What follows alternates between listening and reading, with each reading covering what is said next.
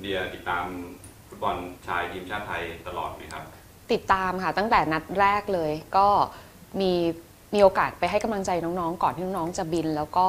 ตั้งแต่นัดแรกที่อ่ากับกาตาร์แล้วก็เมื่อวานนี้ก็ดูตลอดการแข่งขัน 90 นาทีค่ะ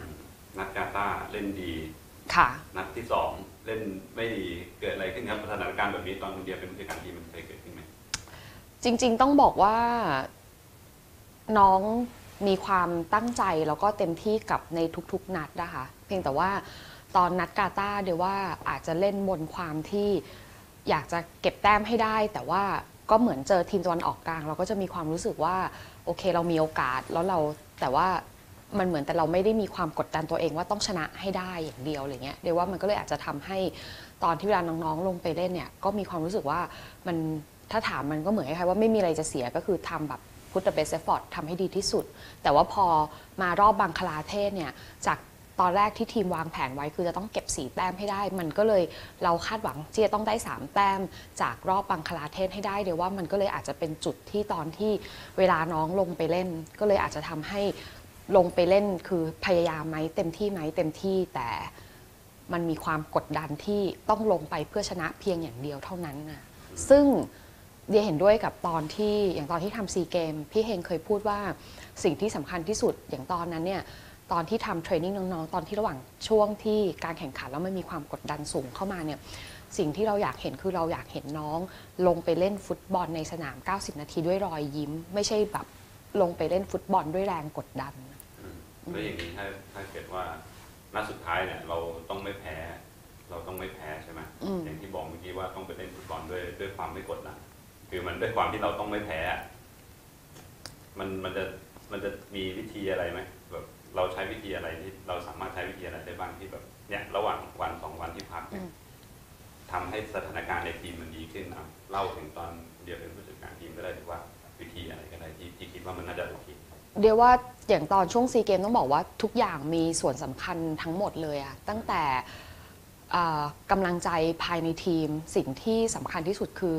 การที่ทุกคนต้องให้กำลังใจซึ่งกันและกัน อย่างตอนนั้นเนี่ยก็อย่างก็มีทั้งโค้ชเฮงทั้งพี่โย่งแล้วก็โค้ชทุกๆ คนเนี่ยทีมงานทุกๆ คนคือบรรยากาศตอนนั้นมันเป็นบรรยากาศที่เราช่วยกันคนละไม้คนละมืออย่างเงี้ยค่ะรวมถึงตัวน้องๆ ตัวนักเตะเอง ใครทำอะไรได้หรืออย่างบรรยากาศที่เห็นชัดก็คืออย่างเวลาตอนที่เราสมมุติว่าออกจาก dressing room อย่างเงี้ยคือมันจะเป็นภาพที่เรามีความเป็นทีมเวิร์คคือน้องๆ ช่วยกันหยิบของหยิบ คนละไม้คนละมือขึ้นรถ ทุกคนแบบรู้หน้าที่ของตัวเองการที่เป็นทีมเวิร์กอันนี้คือเป็นสิ่งที่ที่สำคัญที่สุดนะคะแล้วก็อย่างที่สองก็คือเรื่องของกำลังใจจากแฟนบอลชาวไทย คือต้องบอกว่ามันมีผลจริง ๆ อย่างที่เคยพูดอะค่ะว่าการที่เวลาเราเดินออกไปในสนามแล้วเห็นกองเชียร์อยู่อะมันคือเรารู้สึกได้เลยว่า วันนี้เรารู้สึกเราใจฟู แต่ว่าเวลาเดินออกไปแล้วปรากฏว่าไม่มีกองเชียร์คือบรรยากาศทุกอย่าง พูดตรงๆเลยว่ามันก็มันก็ความรู้สึกมันก็อาจจะทำให้ห่อเหี่ยวลงไป คือความมั่นใจทุกอย่างอะไรอย่างเงี้ยค่ะเสียงที่เชียร์เรื่องของไทยแลนด์ ทีมชาติไทยเวลาตะโกนเข้าไปในสนาม มันทุกอย่างอะล้วนแต่เป็นสิ่งที่มันทำให้จิตใจเรามีความพึกเหิม แล้วก็มันฟูขึ้นมันมันพองโตขึ้น แล้วก็อย่างตอนนั้นเนี่ยคือต้องบอกว่า ทุกอย่างอะที่พึ่งทางใจไม่ว่าจะตั้งแต่สิ่งศักดิ์สิทธิ์บนบานสารกล่าวอะไรทุกอย่างคือล้วนแต่มีปัจจัยแล้วก็สำคัญที่สุด แต่ว่าอย่างที่บอกคือเดียวว่าคือน้องๆ คือสิ่งที่บอกน้องตั้งแต่ตอนที่ทำซีเกมก็คือว่า โดยเฉพาะอย่างตอนนั้นเราไปเป็นระดับอาเซียนอะก็บอกน้องว่า ถ้าในแง่ของฝีเท้าเนี่ย พี่เชื่อว่า ยังไงเราไม่เป็นสองรองใครในอาเซียนแน่นอน เพราะฉะนั้นที่เหลือเนี่ยมันอยู่ที่ใจเราแล้วว่าเราจะสามารถชนะใจตัวเองได้หรือเปล่า ซึ่งเคสนี้ก็เหมือนกันคือวันนี้อาจจะเป็นระดับเอเชีย แต่ก็เชื่อว่าทุกอย่างอะค่ะด้วยศักยภาพต้องบอกว่าน้องๆ นักเตะในทุกคนที่ติดรายชื่อมาในชุดนี้เนี่ยเดี๋ยวก็คิดว่าเป็นนักเตะรายชื่อที่ที่ดีมากๆนะคะ น้องๆ ทุกๆคนมีทักษะที่เรียกว่า แพรวๆในตัวอยู่แล้ว แล้วก็บวกกับระบบไทยลีกของไทยเอง แล้วก็น้องๆส่วนใหญ่เนี่ยเล่นเป็นตัวจริงให้กับสโมสร ในแง่ของความแข็งแกร่งของร่างกายทุกอย่างความฟิตเนี่ยเดี๋ยวว่าทุกคนก็มีค่อนข้างจะพร้อมมาก ยกเว้นบางคนที่อาจจะยังเจ็บตอนที่เจ็บมาจากสโมสร แต่โดยรวมต้องบอกว่าคิดว่าทีมพร้อมอาจจะเสียไปบ้างก็คือเรื่องที่ไม่ได้มีโอกาสมาซ้อมแท็กติก หรือว่ารวมตัวกันได้เร็วพอก่อนที่จะมาเอเชียนเกม แต่ก็อย่างที่บอกคือ ด้วยศักยภาพที่คนมีอะเราเชื่อว่าน้องมีศักยภาพอยู่แล้วที่เหลืออย่างที่บอกมันมันเป็นเรื่องของจิตใจละอะอันนี้ถามส่วนตัวส่วนตัวคุณเดียเชื่อมั่นไหมว่านัดสุดท้ายเราจะสามารถทำได้เอาส่วนตัวกันความรู้สึกส่วนตัวตอนนี้เลยดูฟอร์มจากสองนัดมาไม่แบบไม่ต้องป่วยไม่ต้องอะไรคือถ้าดูจากฟอร์มนัดแรกนะคะ แล้วก็อย่างที่บอกแล้วถ้าน้องสามารถ control เรื่องของความกดดันได้ เดียเชื่อว่านัดที่เจออุซเบย์อะเรามีโอกาสคืออย่างน้อยก็คือไม่แพ้ก็คือต้องเสมออะค่ะ อืมแล้วก็ไปลุ้นเอาใช่ ซึ่งตอนนี้ถ้าดูตามแต้มเนี่ย อย่างเมื่อวานก็คืออุซเบย์ก็ชนะกาตาร์ไป 6-0 คือถ้าเราเก็บ 3 แต้มได้ แล้วโดยเฉพาะอย่างยิ่งก็คือสมมติก็ลุ้นว่ากาตาร์ก็อาจจะเสมอกับบังคลาเทศ เดี๋ยวว่าโอกาสที่เราจะผ่านสู่รอบ 2 ก็ยังมีสูง แต่ว่าอย่างที่บอกคือด้วยด้วยทักษะเชื่อใน ยังไงก็เชื่อมั่นในตัวน้องทุกคน แต่ว่าวันเนี้ยมันเป็นเรื่องของจิตใจที่ทุกคนลงไป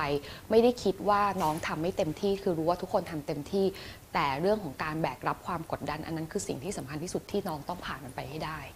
ฝากอะไรถึงน้องนักบอลเอาน้องนักบอลก่อนครับอยากฝากอะไรไหมก็อย่างที่จริง ๆก็บอกกับน้องๆบ่อยๆอยู่แล้วอะค่ะว่ายังไงพี่ก็เชื่อมั่นในตัวน้องเสมอ แต่ว่าวันนี้ก็คือ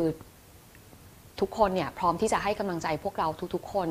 ขอให้เราลงไปทำให้เต็มที่ในสนามดึงศักยภาพออกมาให้ทุกๆ คนเห็นว่าเราทุกคนทำได้ เชื่อว่าแฟนบอลชาวไทยอะค่ะถ้าเห็นว่าเราทำเต็มที่เราเล่นเต็มที่เราทุ่มเทเพื่อทีมชาติแล้วเนี่ยพี่เชื่อว่าอ่าแฟนบอลทุกๆ คนเนี่ยพร้อมที่จะเข้าใจแล้วก็ให้โอกาสพวกเราเสมอค่ะต่อที่แฟนบอลเลยครับชวนมาเชียร์น้องไหมก็ยังไงก็อยากจะฝากถึงแฟนบอลคนไทยทุกๆ คนนะคะ ก็ ด้วยน้องๆ ในวัยเพียง 20-21 ปี ในการที่เขาจะต้องไปทำหน้าที่แบกรับความกดดัน ไปทำหน้าที่สร้างความสุขให้กับคนทั้งชาติเนี่ยต้องบอกว่ากับเด็กวัยนี้เนี่ยมันเป็นเรื่องที่ไม่ง่ายเลย เพราะฉะนั้นเนี่ยภายใต้คือการแบกรับความกดดันเขาก็มีค่อนข้างเยอะอยู่แล้วเพราะฉะนั้นวันนี้เนี่ยกำลังใจนะคะจากแฟนบอลชาวไทยจากคนไทยทุกๆ คนเนี่ยเป็นเรื่องที่สำคัญแล้วก็มีผลอย่างมากต่อ